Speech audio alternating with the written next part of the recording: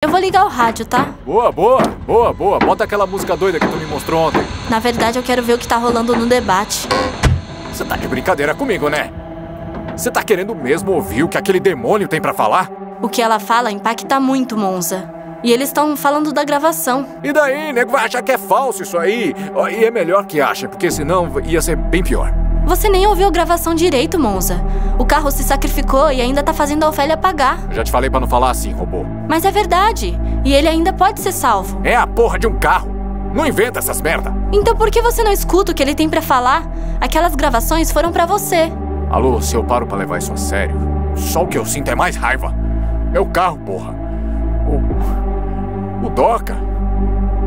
Eu paguei caro me importando com uma tecnologia que eu não entendia. Eu amo aquele carro. Mas pra mim agora ele tem que ser só um carro.